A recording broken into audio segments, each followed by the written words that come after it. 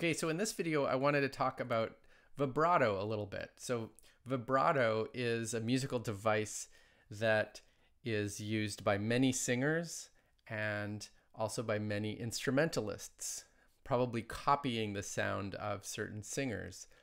Vibrato is something that brings a richness to the tone. And so it's used in, in different ways depending on the kind of music. Vibrato is used more or less, uh, but it's, it's something that can really make an instrument stand out. So I want to talk about what vibrato really is. And so in terms of physics, it's really just a periodic oscillation of the pitch. So when you're singing a note with a certain pitch and you have vibrato, that means that the pitch is not staying constant. It's oscillating up and down. Usually does that around five to eight times per second. So that would be the frequency of the vibrato. And the amount that the pitch oscillates, it's usually less than a semitone. So this is referred to as the depth of the vibrato. When you have a voice or an instrument that is using vibrato, it usually also comes along with some variation in the sound in the loudness of the sound or the amplitude of the sound. So that is something that is separately called tremolo. And it usually also comes along with some periodic variations in the timbre. And so maybe the various fundamentals are shifting their amplitudes by different amounts as we have this variation in pitch. But the basic effect is the variation in pitch. So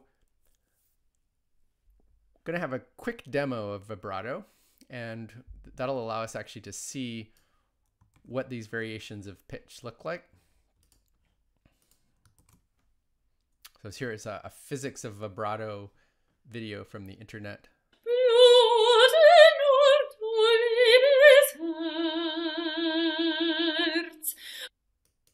Okay, so that that uh, what you're looking at is a spectrogram.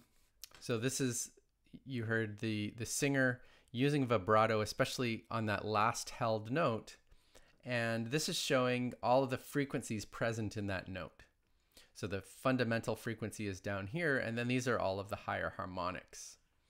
And you can clearly see that the pitch is oscillating up and down. So this is four seconds, this is five seconds. And so within one second, it's oscillating up and down five or six times. And so that would be a frequency of five or six hertz for her vibrato. Okay. Now, what is it that what is it that uh, causes this vibrato? So, in the voice, it's actually not totally understood. Uh, what is understood is that the vibrato has is associated with the variations in the tension of the various muscles that control the vocal cords. Okay, so there's oscillations in the tension of both the vo vocalis muscles that go through the vocal cords, as well as the cricothyroid muscles that control them from the outside. And these oscillations are almost like a reflex. They, they kind of happen naturally in certain types of singing.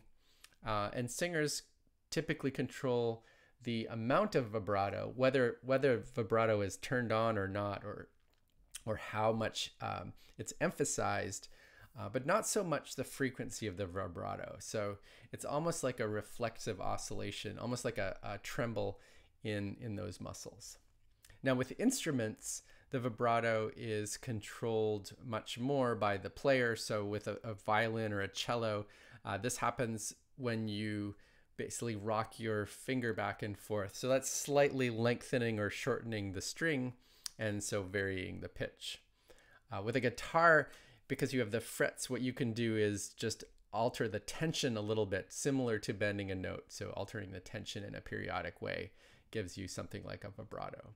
And with a saxophone, uh, that which is what I play, the vibrato would be achieved using your jaw, basically maybe just increasing or decreasing uh, the amount of pressure on the reed. And that would be a common device say in the latter part of a held note uh, when you're when you're playing. So I think this is also how vibrato is often now used, say in popular music by singers.